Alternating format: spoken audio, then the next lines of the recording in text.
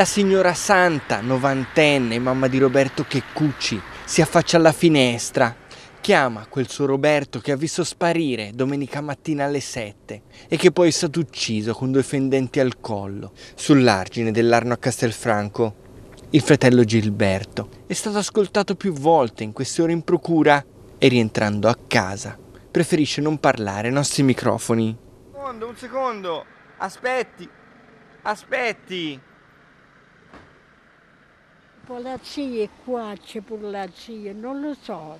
Ma aveva problemi col vicinato, Ma litigavano? non lo so, io siccome sto lontano là, non lo so. E tutte le persone del vicinato lo ricordano, come il camminatore. Sì, sì. E partiva da qui, da casa, E dove andava non lo so. Ma però lo vedeva sempre camminare. È un bicicletta a camminare.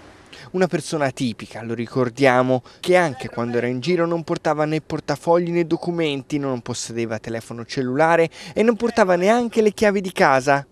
Le sue giornate erano fatte solo di lunghi cammini. Io l'ho visto sabato mattina, ci siamo scontrati qui.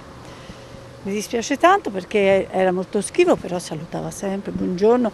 Prima ti guardava, no? Se, se, se glielo davi, gentilmente ti ti rispondeva. E questo, Eh, lui guardava un po', scrutava un po' le persone. no, no, no, no. Sì, le guardava se lo volevano salutare, almeno guardava la persona, ma sempre con un briciolo di sorriso l'aveva sempre. E c'è chi pensa che purtroppo Roberto abbia visto cose che non avrebbe dovuto vedere. Nel camminare, eh, nel... Sì, sotto l'argine magari c'era del movimento strano.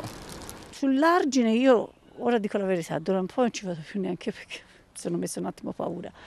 Però prima ci andavo, l'unica cosa che vedevo le impronte dei, dei cinghiali e mi faceva un po' paura. Ora, ma non perché io sono vecchia, sicché non c'è il problema, non è quello, è proprio perché c'è da avere paura.